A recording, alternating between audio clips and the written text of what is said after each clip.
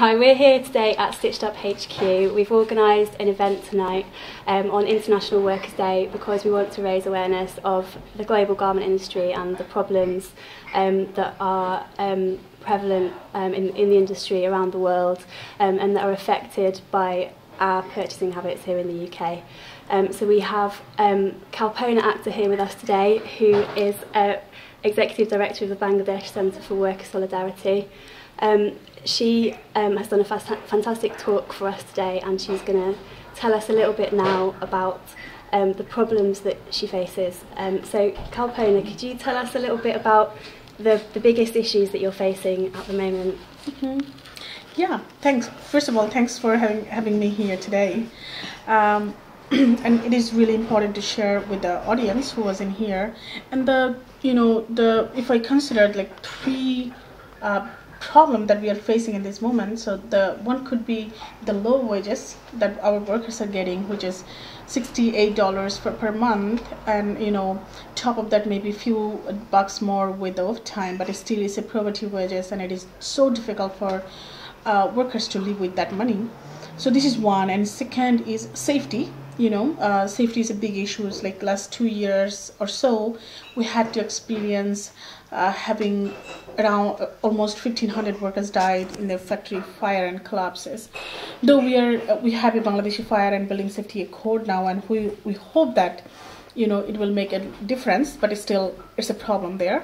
And third is that union voice at workplace which is really really an important key. Like without uh, without union you cannot make workers livelihood change.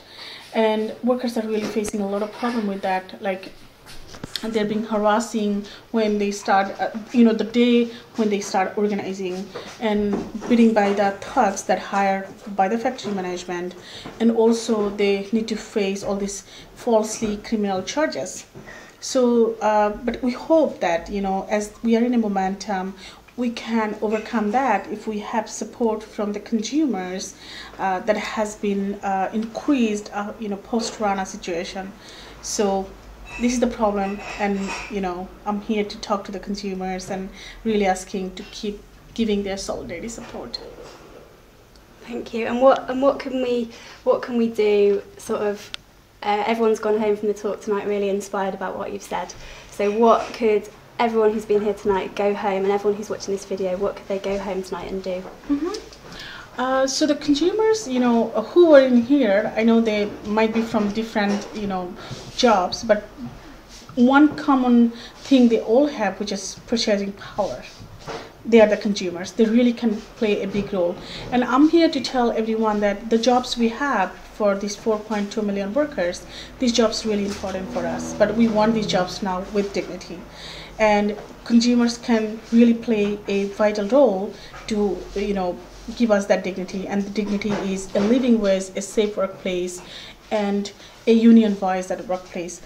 And you know the consumers from their own place they can act like ask brands more questions that i wanted to know more about these workers to who are making my clothes okay? Whether they're respected whether they get living wage okay? Or whether they, ha they have been uh, uh, respected when they were organizing union. So that will ma really make difference. Consumers get can get involved with labor behind the label and your center like Stitched Up. And um, raise their voice, act when it is needed uh, in the street or in the store when they need to campaign, like the Rana Plaza compensation, one big piece that consumer can really play a vital role on it. Through online campaign, through store campaign, through writing letter to the uh, UK government even. Uh, I think, uh, and also when we talk about jobs with dignity, the consumers can put enormous pressure to the companies uh, to add few cents more so our workers can get a decent wage. And in terms of the um, the Rana Plaza uh, disaster, there's a few brands that haven't yet signed the accord, and there's a few brands that haven't paid compensation. So, mm -hmm. which of the brands are there? A few brands that are being targeted at the moment that mm -hmm. we can sort of focus our our energies on. Mm -hmm. So, in this moment, I think uh, all the consumers' energies should be focused on uh, to meet the gap for these 2.7 million dollars that we have from this 30 million dollars fund and we have been targeted not targeted i think it is three brand among many Walmart, Mango, and Benetton who haven't paid the uh, enough compensation to the fund, and they should uh, contribute, you know, contribute more and or contribute their share soon as possible. And consumers really can put pressure onto them through letter writing. Go to their Facebook, make hell out of it. yeah. so um, anyway, um, the consumers really can play a big role on it. And in the end, I would say that you know evolve all this campaign the work we're running work we're doing we really need the support and the people who was in here and who are going to see this video they can contribute they can donate the better way they know so we can keep doing our work. Uh, thank you very much Kalpona thanks very much for coming. It's been great to have you. Yeah thanks very much for having me here. You're welcome